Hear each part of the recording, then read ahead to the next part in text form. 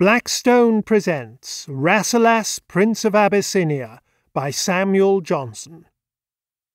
This book is read by Graham Scott. Chapter 1 Description of a Palace in a Valley. Ye who listen with credulity to the whispers of fancy, and pursue with eagerness the phantoms of hope, who expect that age will perform the promises of youth, and that the deficiencies of the present day will be supplied by the morrow, attend to the history of Rasselas, Prince of Abyssinia. Rasselas was the fourth son of the mighty emperor in whose dominions the Father of Waters begins his course, whose bounty pours down the streams of plenty and scatters over the world the harvests of Egypt. According to the custom which has descended from age to age among the monarchs of the torrid zone, Rasselas was confined in a private palace with the other sons and daughters of Abyssinian royalty till the order of succession should call him to the throne. The place which the wisdom or policy of antiquity had destined for the residence of the Abyssinian princes was a spacious valley in the kingdom of Amhara, surrounded on every side by mountains, of which the summits overhang the middle part.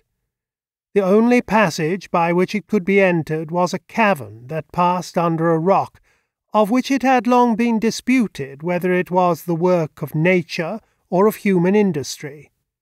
The outlet of the cavern was concealed by a thick wood, and the mouth which opened into the valley was closed with gates of iron, forged by the artificers of ancient days, so massive that no man without the help of engines could open or shut them.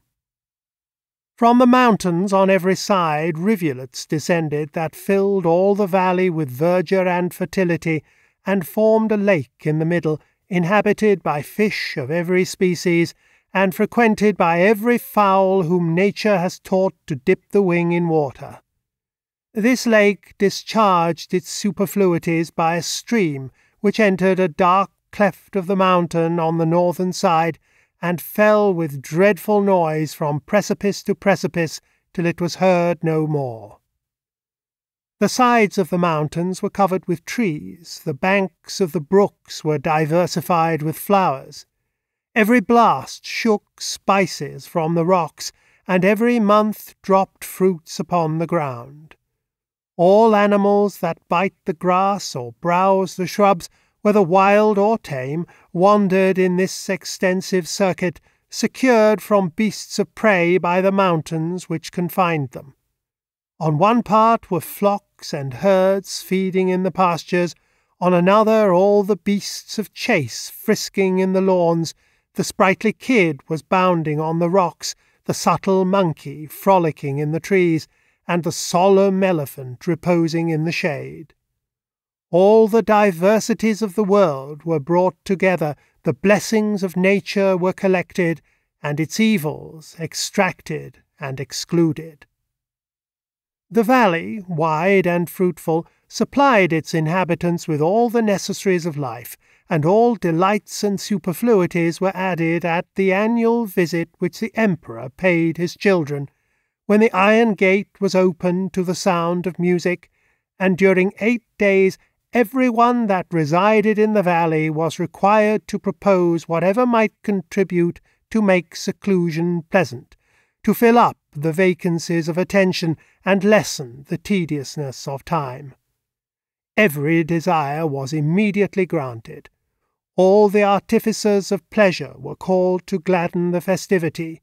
The musicians exerted the power of harmony, and the dancers showed their activity before the princes in hopes that they should pass their lives in blissful captivity to which those only were admitted whose performance was thought able to add novelty to luxury. Such was the appearance of security and delight which this retirement afforded, that they to whom it was new always desired that it might be perpetual, and as those on whom the iron gate had once closed were never suffered to return, the effect of longer experience could not be known. Thus every year produced new scenes of delight and new competitors for imprisonment. We hope you enjoyed this preview.